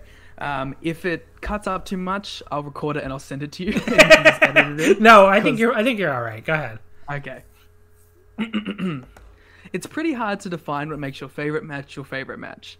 It could be that you just think it's cool, that it's a display of mind boggling athletics, or that it leads to the perfect conclusion of the story you're most invested in. To me, in this instance, it's the ability that the match has to draw me back, to make me, to make me feel as if I'm watching it again for the first time. Okada Omega 2 absolutely flybys for me. A 60 minute match where the pace is insane the entire time, has the perfect amount of drama both in ring and storyline wise, while some of the wildest spots I've ever seen uh, happening. Uh, while also building to just the most epic of conclusions in front of an absolutely molten crowd as loud as you'll ever hear one. I really love this match because Okada feels like the final boss that you just can't beat. He's more resilient than Omega, he's more composed than Omega, and when he needs to hit that next gear, he's simply better than Omega. If this match had gone on a minute longer, Okada would have beaten Omega, and that's what eats him up inside. That's after his lo- that and his loss at the- this year's G1 is what spurs him to make the challenge to Omega, which ultimately costs him the title and his mind for a little while. Whenever Omega gets the advantage in the match, he lets the opportunity slip, either by posturing too long or being too cocky, and towards the end, he knows that this has cost him. I know that some people probably hated the Cody spot, but in the moment, uh, in the moment, I felt such dread that Cody would come in and steal not only the match from Omega, but this from me. The Bullet Club at ringside really made this feel like a massive deal to me. Matt screaming his lungs out for Omega to get up towards the end mirrored my own feelings. The nervousness I felt, that's uh, the nervousness that I felt is what makes this match my favorite ever. The fact that I could watch this match three years later with my heart beating in my chest, my stomach in knots, biting on every falsy, That's what makes this my favorite match ever. I know it's not for everyone, but for someone who's completely invested, for someone who's watching their favorite wrestler ever almost reach their goal against the biggest force in the company, I hope you can understand why it is. Okay, that was beautiful, Liam. Thank you. Uh, I, I thought it'd be easier than me writing down spots because I was like, I, I'm just invested in it. I didn't even have my phone in my hand. I didn't check it once. here's what I'm going to say about this match. Okay, I didn't hate it. Uh, you know, I'm not. Oh, if you peop- swerving them all. If people, if people want me to come out here and completely bury it, they're good. This is the wrong one for that. I mean, the one I fucking hate is the G1 match, which I've buried. I've ranted about in this podcast before. I don't really have to do it again, especially when it wasn't the one you chose.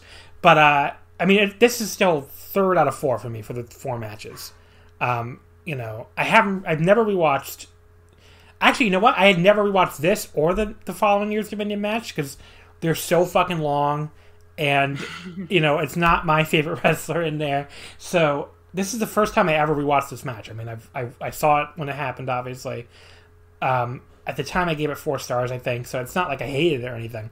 Um, I really hated the idea of sitting through it again because it's fucking sixty minutes, and I was very angry for that reason.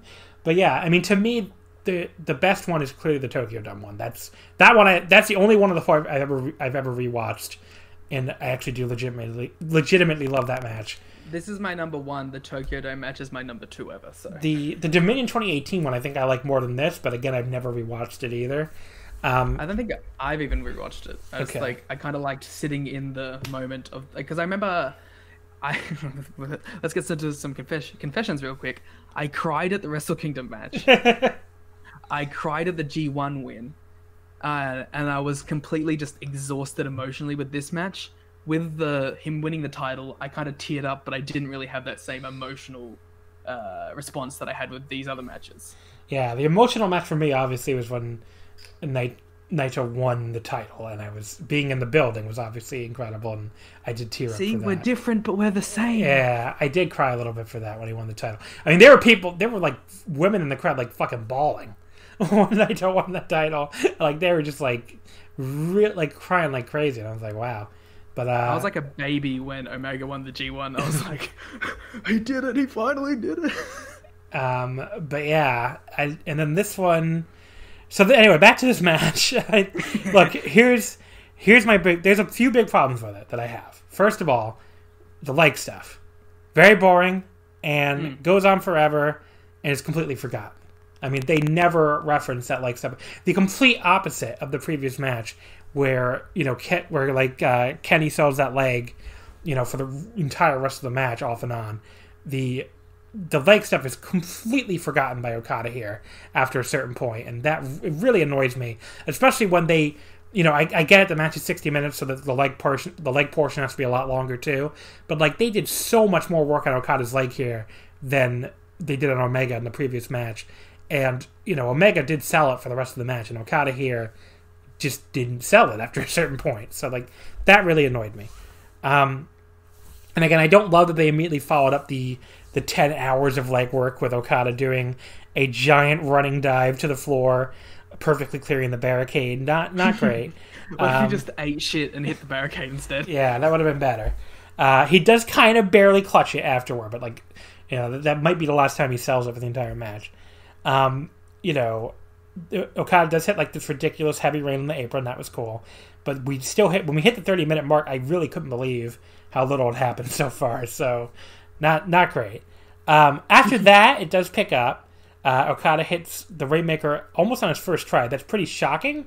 And I, even even rewatching it, I was pretty shocked. I, even though I know Kenny kicks out, obviously, so I'm sure that was a really cool spot the first time you see it, and you're like, "Wow, he's going to win already." Um, Oh, trust me, I was like depressed. I was like, no, no, no, no. Ah, I did it. And then Okada hits the elbow drop on Kenny through the table. That was great. And then, yes, just as I'm getting into the match finally, we get the designated Bullet Club drama moment as the match grinds to a fucking halt for Cody to tease throwing in the towel. I, I'm glad you like this. I fucking I love this spot. I fucking hated this. I mean, look, Okada just wanders over to the ropes. He's killing this man. He He's distracted. he. Uh, a whole bunch of people It's an IWGP. from a different stable just showed up. Of course, he's gonna be distracted. It's an. IWGP Heavyweight Title match with And he thinks in he's about to get jumped. event of Dominion. Well, it would be a disqualification then, wouldn't it? I mean, look. Yeah, but he doesn't want that, and it's New Japan. It's probably not going to be a disqualification. He wanders over to the ropes and fucking stares at them. He doesn't do anything. He just stares at them. And I'm just like, can you please, like, this looks like Monday Night Raw. Like, fucking stop like it. Twenty seconds. It's so annoying. And then Kenny, and then after Okada stares at Cody and the Bucks, Kenny magically revives. It's like he's been getting murdered for the past ten minutes. I, I can explain this. Do you want me to explain the spot? Sure. He revives because he realizes that if he doesn't get into this next gear, Cody's going to throw in the towel on him and he's going to lose. So this is like his last burst of energy because he knows if he doesn't have it, Cody's throwing in the towel and he's gone.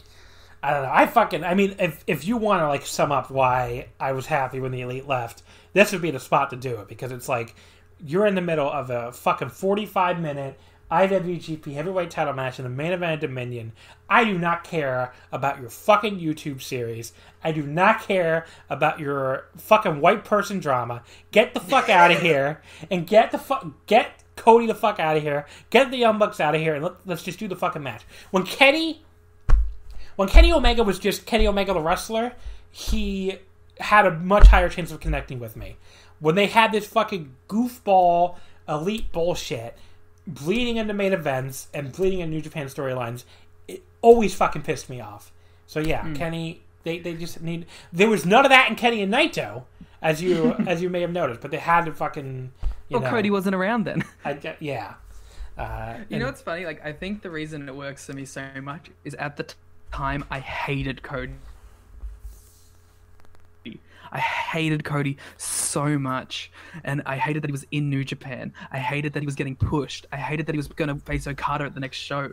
I hated everything about Cody being there. So when he came out, I was like, "You're not going to fucking do this to me." I mean, it's just I don't know. It just doesn't work for me at all. And I, I guess if you're more invested in that stuff, it probably did work for you. But like, I, it, the Japanese fans didn't even really seem like they knew what was going on. So like, mm. they don't. That was always the big problem. It's like they don't watch Being the Elite. It's a fucking show in English, so it didn't work for them. You know.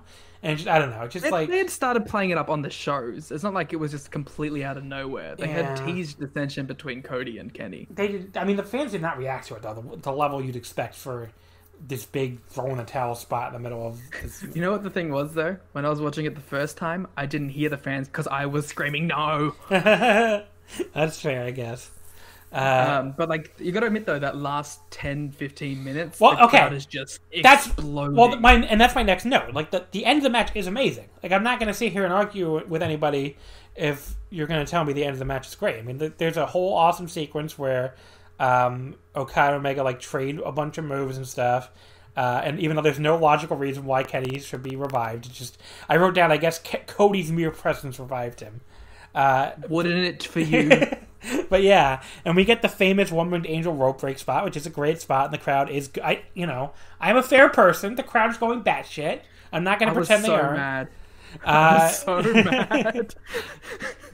and then they, my favorite part of the match when o- okay, Kenny is a fucking idiot, and he does the the fucking gun pose for like ten goddamn hours when we're fifty minutes into this IWGP title match, and that I was already to be really mad at that spot, but then Okada gets up and lariats the shit out of him, and it's awesome. It's like Okada Okada made this fucking dipshit pay for holding this pose for that long, so that was great. Yep. Um, and then you know there. Now here's a spot where I'm probably we're probably going to disagree. Uh, a lot of people love that spot where Kenny collapses uh, to his It knees rules. when Okada goes for the Rainmaker, and I wrote down. I'm sure that you do too. I always thought it was fucking stupid. Uh, most funny, I was kind of dissecting it as I was watching this match. I was like, is it Kenny just straight up like d- exhaust dropping, or is it like all he can do to avoid it is just eat shit on the ground? I don't know what which which which do you think it is? I, I- when I first the, the first two times I've watched it, I was like, oh, it's him just exhaust dropping. But I think in retrospect, it's actually him. Like I can't do anything else to avoid this. I have to eat shit and just hit the ground. I mean, I guess that would make more sense because the look on his face is very does not look that bad. It's not look that exhausted, which is always the problem I have with it. Maybe that interpretation looks it, it makes more sense because Well, to me he I looks think- look he looks like a guy doing I am acting exhausted. And I I'm think not- it makes more sense to me because like Okada just like flies off and like eats shit, and I think that makes more sense if it was like oh, I can't do anything except just eat shit on the ground. Yeah. And then the finish, obviously, with Okada almost having him pinned. I will say you gave the best explanation for why they did that because that never made any sense to me. I'm like, why would Okada almost beat Kenny? Like, Okada's already beaten Kenny. Why would that be the 60 minute tease? But at least your explanation of that made a little more sense. Um, so I He directly references it like that the 60 minute draw was like his biggest failure in his reign. yeah. Um, so I, here's the part where I'm going to probably make you sad. I downgraded to three and a half. Uh, I I didn't li- I just didn't like it as much the second time. I guess you know a match where you know it's a draw is always going to suffer. I think on the second viewing and like the the first half hour like just nothing happens. The legwork goes nowhere. The fucking Cody shit is so annoying. The the good part the good parts of the match are really good, and that's enough to get to three and a half. But like I really can't go. Well, I actually decided to give it an extra half, and I've broken the scale, and it's now 5.5. um, didn't Dave I've give it taken six, away your five. Da- Dave gave it a six and a quarter or something, didn't he? Yeah, he, he went above the the Wrestle Kingdom match. Ugh. I think breaking star ratings is stupid. First of all, like, they're all just fives. Yeah. Like four of the matches on this thing that we did, I gave fives originally. Wait, what One was, has changed, but what was the what was the other one you gave five to? I gave five to Naito Kenny, five to this. I gave five to Shinsuke Zayn, and I gave five to the other one that I'm fake. Oh, Nakamura. Uh, Ibushi, Ah, Nakamura. okay. So I picked two matches that you both gave five stars. I'm good. Yep. I'm good. Well, one of them is the most obvious match that we would both love ever. That's true. Yeah. Although you, I'm way higher on the 2017 match than you, as I as you. I, I don't it. like the 2017 match. Yeah, I love that match. I mean, okay, I, I don't like is very like I, I gave it like four stars. like I still liked the match. I just thought it was less interesting, yeah. and I think a part of it was that I had such high expectations because the match before. What do you think about the 2018 one? It's it's it's better than it's like I think I gave it like four and three quarters. Okay. Like I haven't seen it since though. I need to go back and watch it. I'm it. like I'm five, four and three quarters, four and three quarters. So that's Yeah. much my theory. So. Um, I think while we're here, before this goes into wherever it's gonna go, we have to get down to the brass tacks, where you call me a Naito hater. You are a Naito hater. I am not a Naito hater. You compared him to MJF in the fucking Slack As yesterday. a meme to annoy you. Well, congratulations, mission accomplished. I, I don't think I can be a Naito hater if I have given Naito multiple five star ratings. well, everybody calls me a Kenny hater, and I've given him multiple five star ratings. So here's what we've come to learn today. Just because we like to bury people sometimes, perhaps we are not haters. I mean, look, when Kenny annoys me, he really fucking annoys me. I mean, there Well, are Naito matches. just bored me. there are matches where uh where like other people think Kenny is fucking this happened repeatedly in the 2018 G1 that was probably the worst for this where like people were get, saying like yeah four and a half on every Kenny match and I'm, I'm like no it was two and three quarters like I, I think a lot of people got turned off by that, to be honest. yeah people really got annoyed at me that that year but uh but yeah so like I don't I can't really uh oh it's just, were you saying people got turned off by me giving them low ratings or people got turned No, off no, no, that people got turned off by like Kenny getting a lot of high ratings. I see. that time Right, period. right, right. Well, I think both probably true. But yes, Kenny, Kenny, like really got like every single match of his was like four and a half, four and three quarters, and it's Hmm. like I, I don't know, I just couldn't like there was. I remember there was like a Kenny ZSJ match that like people were raving about, and I was like, what the. I like that match. I gave it like four and a quarter. Oh, I I didn't like that match at all. The Kenny Juice one also, I think people really liked, and I was like, ugh. That was Uh, alright. And Kenny, and then like Kenny Goto, people were giving five, and I was like, that's four. That's four flat. Mm. Stop being, stop with the inf- the Kennyflation. God, two years ago now. Yeah, it is crazy how time goes, I guess. But uh, but yeah. So I don't know. The Ken, like when Ken, like I said though, Kenny, when Kenny annoys me, he really annoys me. Um, There's matches he has where I like it in spite of Kenny, for sure. uh, but then like when Kenny decides to just like okay, when Kenny goes all out and doesn't uh, do like the really really hokey selling or the forgotten limb work or whatever, he can still be really. really I mean, like, look, I've given five to the Naito match. I went five on even during the G1 I was just ranting about. He he still had a five star match for me with uh, with Ishii. Um, and I'm trying to think what else I've given. Is that the only? Game? You haven't watched the Bucks Hangman tag? No, I haven't. I, haven't. I haven't watched that. Um, I was gonna make that one of the matches. I mean, you probably should have. What are you doing? I, pr- I should have done over the other Bucks tag, but I was like, I don't know if I could subject you to like another thirty minute Bucks tag. I I mean I, I I haven't watched that match and I, I don't know if I ever will at this point. I guess I probably will. Well, if we ever, if we do a part two of the five, I'll that'll be one of my matches. Um, but yeah, I don't. I, I haven't seen. I'm trying to think if there's anything else I gave five because I was like, I don't think I gave Kenny Okada one five. I think I gave it four and three quarters. Um, Any Kenny of the Kenny Tana matches? no, I didn't. I, Kenny Tana, the new one, I gave four and a quarter. I got four and a half. So like I was gonna say, if you gave that five, I was gonna. Yeah, so I think that I think those are my only two Kenny fives because is the Ishii G one and the because I because I liked a lot of those other Ishii. I liked a lot of his Ishii matches, not the last one.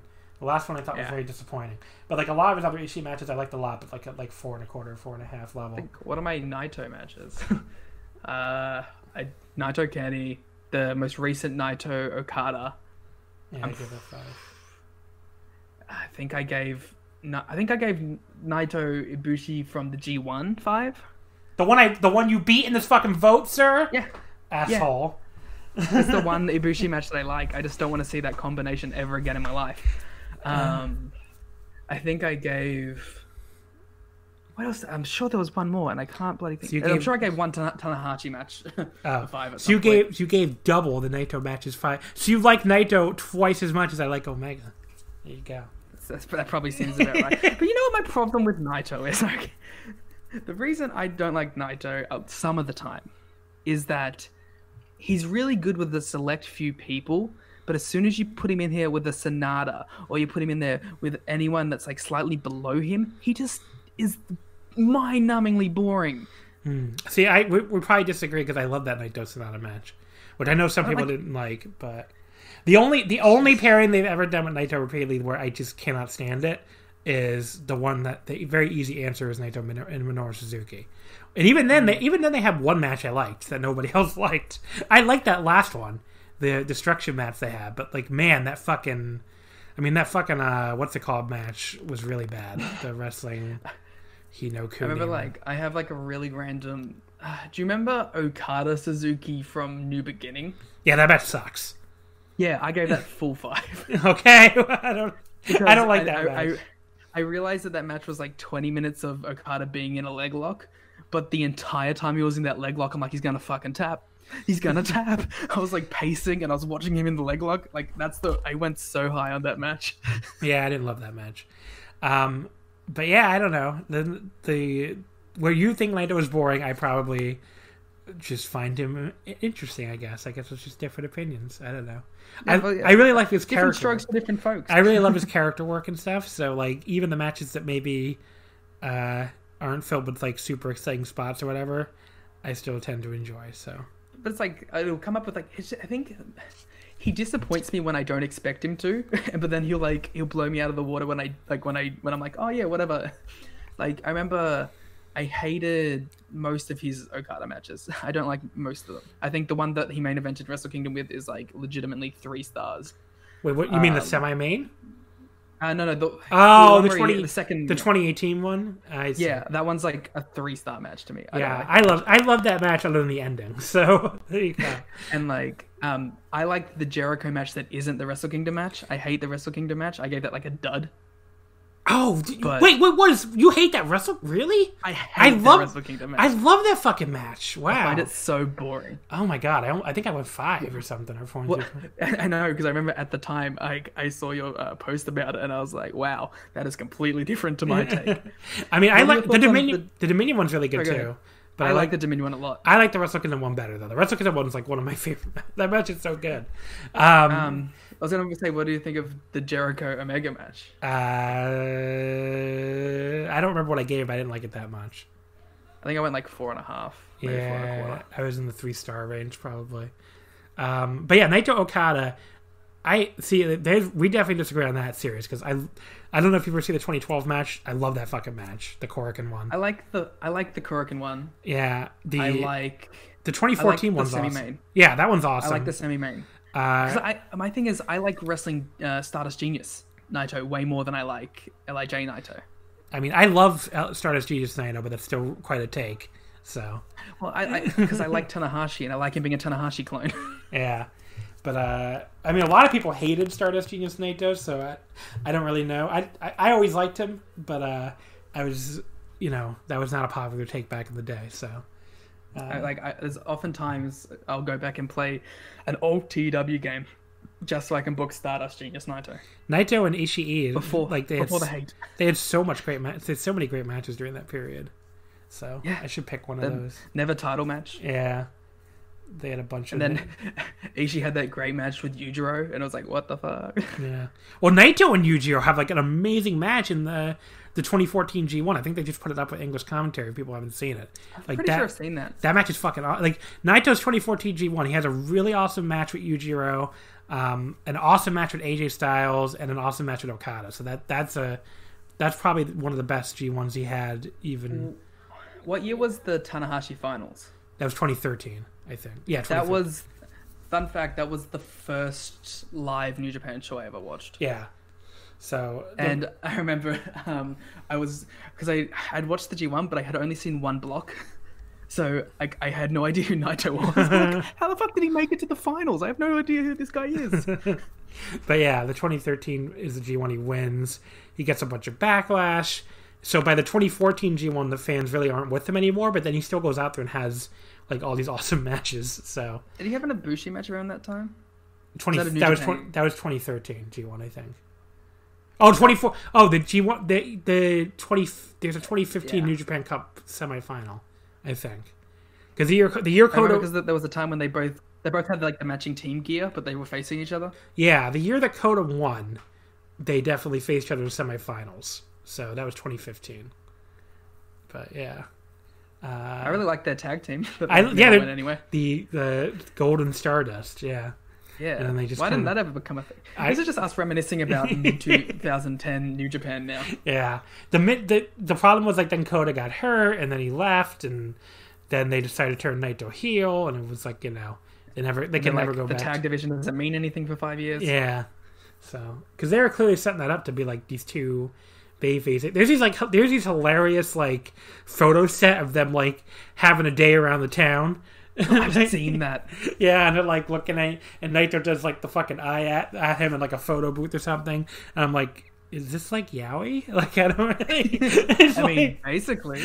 like it's very, it's very, uh, very, very cool in a interesting way. It's like a what such a time capsule because yeah, then they spend the next like half decade killing each other. But uh, dropping each other on their heads from like top top rope pile drivers. yeah, but yeah, it's a very interesting period. And then like Naito, when I remember the 2017 G1 when when Kota comes back, Naito like buries him in the press to set up the Yeah. match. He's like he shouldn't be here.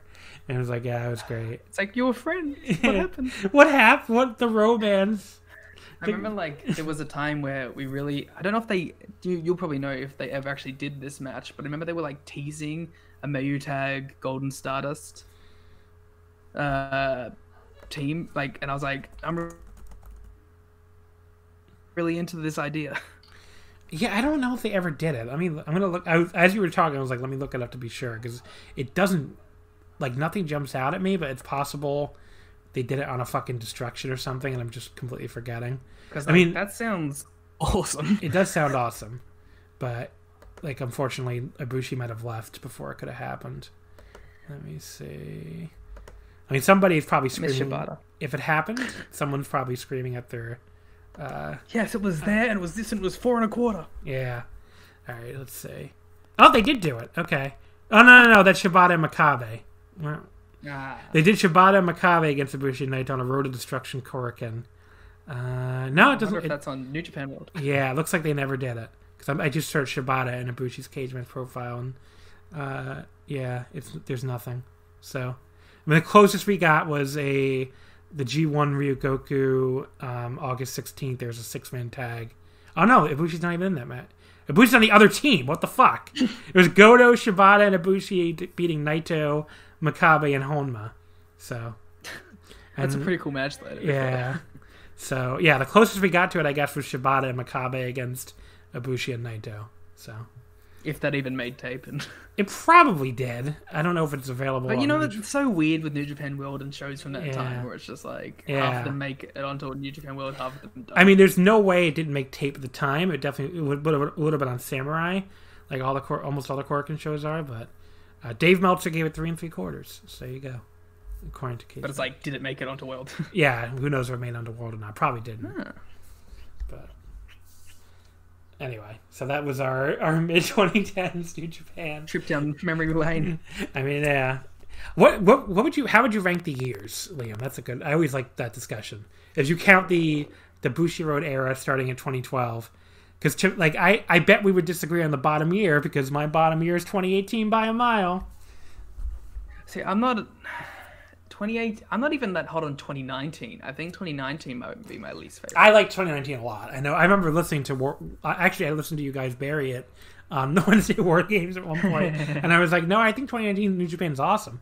Um, let me think like of how. it is. 2017's up there for me because that was Kenny's like rise. Yeah, I mean that's So that's a obviously I'm that's a mid tier year for me because it has Naito and Tanahashi, which is still really good.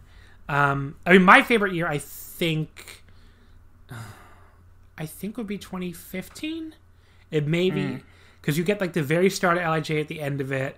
You get the it has my favorite G1 ever, probably as far as the last three nights, where you have like the Tanahashi AJ match, the Okada Nakamura, and then the Tanahashi Nakamura final, which I, I love all of that. Um, I. The year that Okada had like most of his title matches in that giant run, Yeah, like like with the Shibata. So that's twenty. stuff, That's 20, 2017. Yeah, maybe I do like 2017 and I don't like 2018. Yeah, Maybe that could be it. 2015 I think is my favorite. 2013's up there. Um, I do like 2015. I like 2013. What year was Sakuraba Nakamura? I think it was 2013, right? Let me see. So Kingdom. Because like that match is one of my favorite New Japan matches though. Yeah, I mean that match is awesome. Uh, I believe that's Wrestle Kingdom Seven. Let me double check, which would be 2013.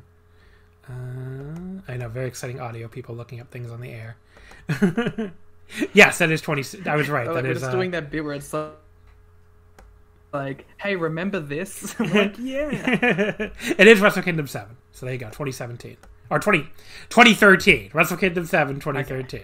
So you're, you're right. But yeah, 2013 is awesome. 2015 is awesome. 2014 to me is a weird sort of down year in between them, but it's still, I mean, it's still really good.